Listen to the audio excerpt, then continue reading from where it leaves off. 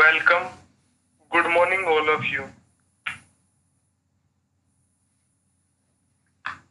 आज हम डिस्कस करेंगे हिस्टोपैथोलॉजी के अंदर। पीछे वाला जो लेक्चर था फिक्सेशन उसी के ऊपर। उसी के अंदर आगे फिक्सेशन के टाइप्स ठीक है? और फिक्सेशन की मैकेनिज्म क्या है? उन चीज़ों के ऊपर क्या है आज? का टॉपिक डिस्कस करेंगे। कि उनके अंदर क्या क्या चीज़ें आती हैं। नेक्स्ट पिच एक बार क्या है? आज का लेक्चर शुरू करने से पहले पीछे का लेक्चर एक बार क्या है? रिवाइज कर लेते हैं, जिसके अंदर क्या था फिक्सेशन का? जनरल इंट्रोडक्शन था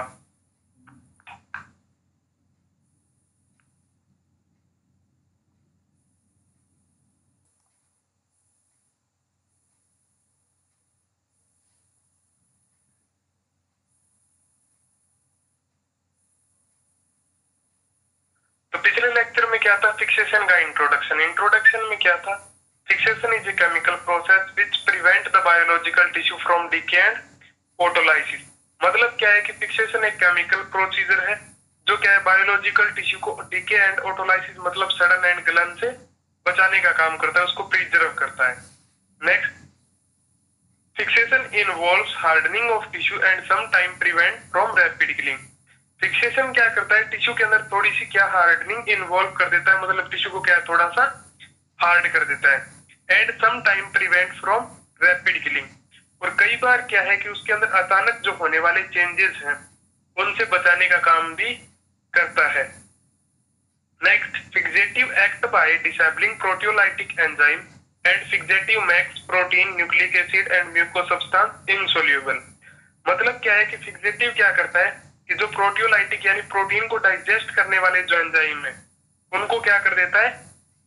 उनको क्या कर देता है? डिसेबल कर देता है एक्रिया कर देता है। And fixative make protein nucleic acid and muco substance insoluble और फिक्सेटिव क्या कर देता है? फिक्सेशन की जो प्रोटीन्स है न्यूक्लिक एसिड है या म्यूको सब्सटेंस है, उनको क्या कर देता है? इनसोल्यूबल मतलब अघुलनशील नेक्स्ट क्या पढ़ा था आपने? कि fixative result preserve a sample as close to its natural state fixative का क्या काम होता है कि जो बायोलॉजिकल सैंपल आपने कलेक्ट किया ह्यूमन बॉडी से, उसको नेचुरल स्टेट में रखने का काम होता है। मतलब जैसी कंडीशन में वो ह्यूमन बॉडी के अंदर था, वैसा का वैसा उसको बाहर रखना है। Next fixation provide mechanical strength and rigidity to the tissue sample fixation क्या है? उसको एक तो टिश्यू को मैकेनिकल स्ट्रेंथ प्रोवाइड करवाता है, और दूसरा क्या है? उसको कठोरता प्रोवाइड करवाता है। Next volume of fixative should be 20 times the volume of tissue और फिक्सेटिव जो कंटेंट है, उसका वॉल्यूम यानी आयतन कितना होना चाहिए? 20 times the volume of tissue यानी टिश्यू के कितना होना चाहिए? 20 गुना होना चाहिए। Next larger the organ large the size of sample tissue more time it will be fixed और आपने क्या है टिश्यू क्या है, बड़ा लिया, यानी टिश्यू के सैंपल का टुकड़ा क्या है, आपने बड़ा ले लिया। तो वो क्या है फिक्स होने में थोड़ा ज़्यादा टाइम देगा। नेक्स्ट क्या पढ़ा था आपने? ओलोविसरा ऑर्गन यानी alimentary canal are open along antimesenteric border and pinned in paraffin tray they are fixed in this state overnight यानी होलोविसरा ऑर्गन जैसे एलिमेंट्री कैनाल ट्रेक यानी ह्यूमन बॉडी के अंदर जो लंबर या सीधी खड़ी पोजीशन में जो ऑर्गन्स होते हैं, वो क्या है? होलोविसरा ऑर्गन और उनको ओपन कैसे करोगे? ओपन अलोंग एंटीमिजेंट्रिक बॉर्डर और उनको क्या है? लंबवत कंडीशन के अंदर ही उनमें कट लगाओगे. And pinned in on paraffin tray और उनको क्या है? पिन की हेल्प से पैराफिन ट्रे के ऊपर लगा दोगे. They are fix in this state overnight और अगर उनका फिक्सेशन करना है तो उनको इसी कंडीशन में पूरी रात के लिए आप रख दोगे. Next larger organ should be cut thin enough so that fixative can penetrate tissue well. यानी अगर क्या है कि आपका जो बायोलॉजिकल सैंपल आपने कलेक्ट किया है, वो क्या है? बड़ा है, यानी लार्जर ऑर्गन है। तो उसको क्या करोगे कट थिन इनफ यानी पर्याप्त मात्रा में उसके अंदर कट लगा दोगे। सो दैट इसलिए फिक्सेटिव कैन जो फिक्सेटिव कंटेंट आपने काम में लिया है कैन पेनिट्रेट टिश्यू वेल वो टिश्यू को क्या है? अच्छे तरीके से पेनिट्रेट कर सके।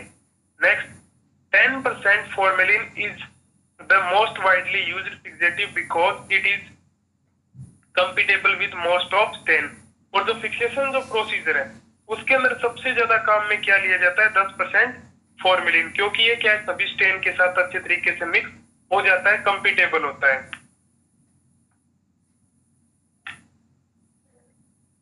नेक्स्ट क्या प्रॉपर्टीज़ ऑफ़ फिक्सेटिव यानी अच्छे फिक्सेटिव के अंदर क्या क्या क्वालिटीज होनी चाहिए?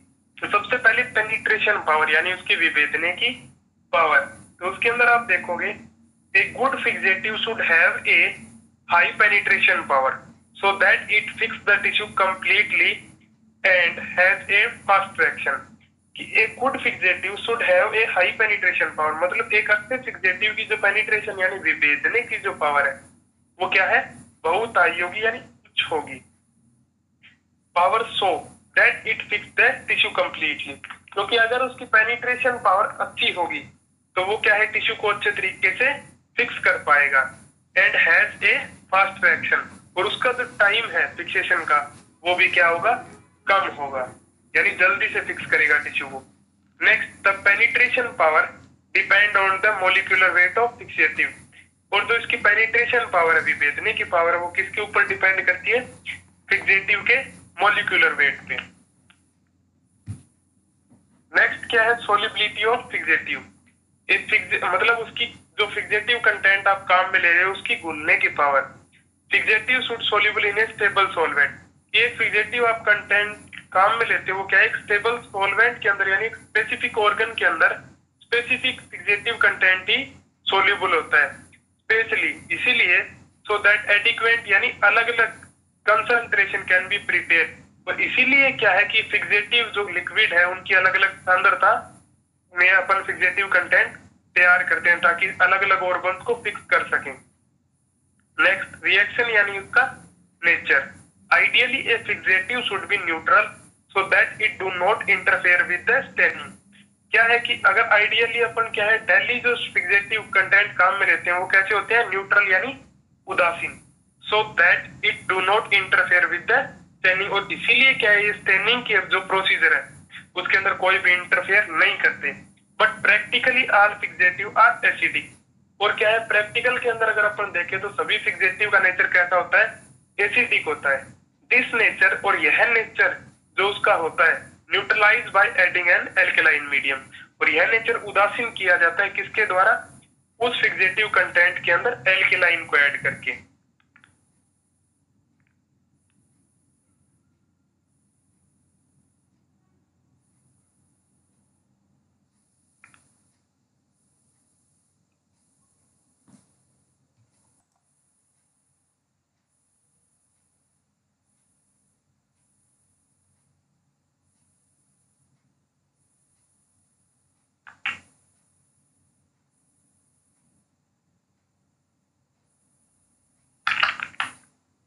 क्लास में क्या है? आज की जो क्लास है, वो किसके ऊपर है? टाइप ऑफ़ फिक्सेशन की। फिक्सेशन कितने टाइप का होता है? तो सबसे पहले देखिए heat fixation it is use to fix the smear on glass slide इसको किसके लिए काम में लेते हो? कि एक फ़िल्म को ग्लास स्लाइड के ऊपर फिक्स करने के लिए, चाहे वो बैक्टीरियल कल्चर की कॉलोनी हो, या फिर अदर कोई सब्सटेंस हो, या फिर कफ हो, उसको फिक्स करने के लिए। The smear is dried at room temperature is passed through, uh, passed through flame of a burner several times. और सबसे पहले क्या करोगे इस प्रोसीजर को काम में लेने के लिए? The smear is dried at room temperature मतलब स्मीयर को क्या है आप ड्राई करोगे सुखा लोगे? किसके ऊपर? एट रूम टेम्परेचर पे कमरे के तापमान पे। फिर क्या करोगे? Is passed through flame of a burner several time और फिर क्या है उस सुखाने के बाद उस स्लाइड को जो बर्नर की फ्लेम है उनके लगते हैं, उसके ऊपर से क्या है, उसको कुछ टाइम इधर उधर गुजारोगे सेवरल टाइम्स उसको पास करोगे। नेक्स्ट क्या है? By this technique organism is killed and adhere to the slide और इस प्रक्रिया के द्वारा क्या है? जो ऑर्गेनिज्म है, वो यानी जैसे कि बैक्टीरिया वायरस पैरासाइट वो क्या हो जाएगी? किल हो जाएगी, मर जाएगी। And adhere to the slide और स्लाइड के ऊपर क्या है वो? चिपक जाएगी।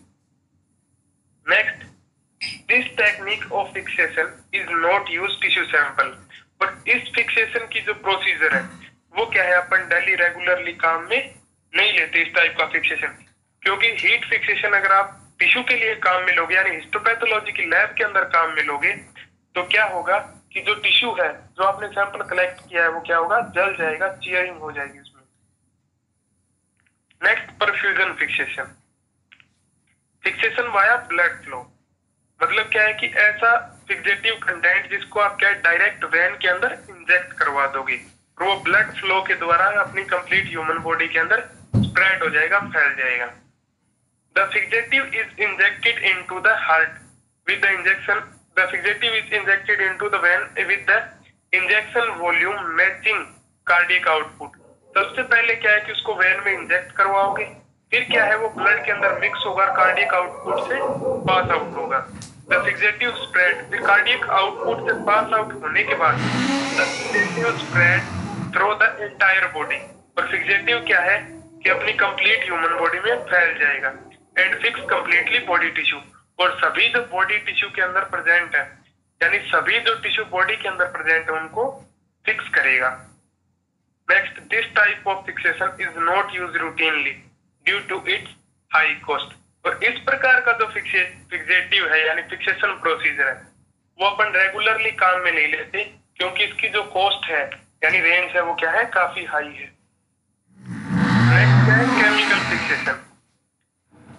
Chemical fixation employ agent with permit tissue and cell and combine covalently with their major biochemical constitute and fix them into place chemical fixation employs agent मतलब chemical fixation के अंदर एक एजेंट अप्लाई करोगे आप, जो परमिट करेगा, यानी able होगा किसको? टिश्यू एंड सेल को या दोनों को? With the their major biochemical constitute यानी टिश्यू और सेल को। क्या है? प्रिजर्व करेगा किसके साथ? उनके बायोकेमिकल कंस्टिट्यूट के साथ, जैसे लिपिड प्रोटीन एंड कार्बोहाइड्रेट के साथ। And fix them into place और उनको उनकी जगह ही क्या है?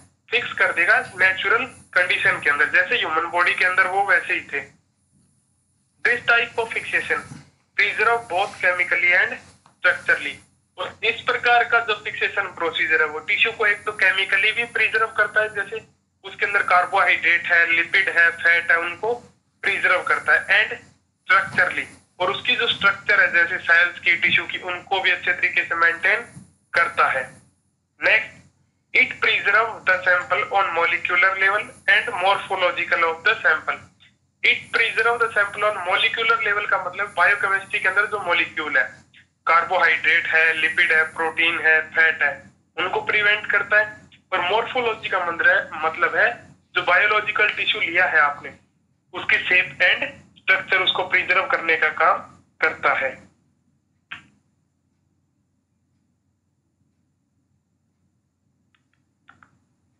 नेक्स्ट क्या है टाइप ऑफ़ फिक्सेशन में आपने तीन चीज़ें देखी थी हीट फिक्सेशन परफ्यूजन फिक्सेशन और केमिकल फिक्सेशन उसके बाद में क्या आता है मैकेनिज्म ऑफ़ फिक्सेशन कि मैकेनिज्म किस तरीके से फिक्सेटिव फ्लूड काम करते हैं? तो सबसे पहले देखिए the two mechanism of chemical fixation are cross linking and coagulation मतलब सबसे ज़्यादा जो मैकेनिज्म काम में लेते हैं वो कौन सी? एक तो क्रॉस लिंकिंग दूसरी क्या है? कोएगुलेशन या प्रेसिपिटेशन फ़र्स्ट क्या है? Cross linking cross linking. In chemistry and biology, a cross linking is a bond that links one polymer chain to another. यानी केमिस्ट्री और बायोलॉजी के अंदर क्रॉस लिंकिंग एक बॉन्ड है बंधन है that links one polymer chain to another polymer another polymer chain मतलब क्या है कि क्रॉस लिंकिंग ऐसा बंधन है जो एक कंपाउंड को दूसरे कंपाउंड से जोड़ने का काम करता है उनके बीच में बॉन्डिंग क्रिएट कर देता है next these are aldehyde and act by creating covalent chemical bond between protein and other substance. मतलब क्या है क्रॉस लिंकिंग के अंदर जो फिक्सेटिव कंटेंट काम में लोगे वो कैसे होते हैं? एल्डिहाइड होते हैं नेचर के अंदर। यानी उनके कार्बोनिल ग्रुप के साथ क्या जुड़ा होता है? Hydrogen and creating by covalent chemical bond और वो क्या है? Chemically covalent bond bond create कर लेते हैं? किसके साथ? प्रोटीन के साथ बिटवीन प्रोटीन एंड अदर और अन्य सब्सटेंस के साथ। एंड मेक देम इनसोल्यूबल और उनको क्या कर देते हैं? एगुलेंसिल कर देते हैं। मतलब क्या है कि क्रॉस लिंकिंग के अंदर सबसे पहले जो फॉर्मेल्डिहाइड है, वो प्रोटीन के साथ कोवेलेंट केमिकल बॉन्ड क्रिएट करता है और फिर क्या है, उसको इनसोल्यूबल कर देता है। इसका एग्जांपल क्या है? फॉर्मेल्डिहाइड नेक्स्ट क्या है? Precipitation these act by reducing the solubility of protein and other molecule, and these resulting in precipitation. These act by मतलब ये किस तरीके से काम करता है? रिड्यूसिंग द सोलिबिलिटी यानी जो उसकी घुलने की जो पावर है सोल्यूबल होने की जो पावर है, उसको रिड्यूस कर देता है, कम कर देता है किसकी? वो प्रोटीन प्रो यानी प्रोटीन्स की एंड अदर मोलिक्यूल्स यानी अदर मोलिक्यूल्स के and these resulting in precipitation और इसी के रूप में क्या हो जाता है कि एक अवक्षेप बन जाता है। और इसका एग्ज़ाम्पल क्या है? मैथेनॉल एंड एथेनॉल प्रेसिपिटेशन में क्या होता है कि जो प्रोटीन्स है या अदर मोलिक्यूल है, उनकी जो सोलिबिलिटी है, उसको क्या है? रिड्यूस कर दिया जाता है, कम कर दिया जाता है। जिससे क्या है? वो क्या है? प्रेसिपिटेट हो जाते हैं, एक अवक्षेप बना लेते हैं टिश्यू के अंदर। यानी घुलते नहीं है या ना ही किसी चीज़ के द्वारा डाइजेस्ट होते हैं। नेक्स्ट क्या है? Oxidation these react with various side chain मतलब क्या है? कि these react with various side chain of histone and basic protein कि वो क्या है? कि जो प्रोटीन के अंदर हिस्टोन है, उसकी साइड चेन के साथ क्या कर देते हैं? केमिकल बॉन्ड क्रिएट कर लेते हैं। जिससे क्या है? एंड मेक देम इनसोल्यूबल और वो क्या है? ऑक्सीडाइजिंग रिएजेंट प्रोटीन के साथ बॉन्ड क्रिएट करके, उसके स्टोन के साथ, उनको क्या कर देते हैं? इनसोल्यूबल कर देते हैं। यानी अघुलनशील कर देते हैं। एग्ज़ाम्पल क्या है? Chromic acid and potassium permanganate और ऑक्सीडेशन और इन प्रोसीजर मैकेनिज्म के कारण क्या होगा? जो टिश्यू है, उसके अंदर बायोकेमिकल जो फ्लूड है बायोमोलिक्यूल्स है, वो क्या है? नेचुरल कंडीशन के अंदर प्रिजर्व रहेंगे। नेक्स्ट क्या है? Alkaline picrate Picrates penetrate tissue well to react with histone and basic protein to form crystalline picrates with amino acid. Picrates क्या है? कि टिश्यू को अच्छे तरीके से पेनिट्रेट करते हैं tissue well to react with histone इसके साथ रिएक्ट करते हैं प्रोटीन की हिस्टोन चेन के साथ. And basic protein to form crystalline picrate और उसके स्टोन के प्रोटीन की स्टोन के साथ रिएक्ट करके वो क्या फॉर्म कर लेते हैं? क्रिस्टलाइन पिक्रेट और amino acid and precipitate all proteins और सारी प्रोटीन्स को वो क्या कर देते हैं? अवक्षेप के रूप में इनसोल्यूबल कर देते हैं. And resulting in insolubility of protein and other biomolecule और रिज़ल्ट के अंदर क्या होगा कि जो प्रोटीन्स है और या फिर अदर बायोमोलिक्यूल्स है, वो कैसे हो जाएँगे? इनसोल्यूबल हो जाएँगे, यानी अघुलनशील हो जाएँगे।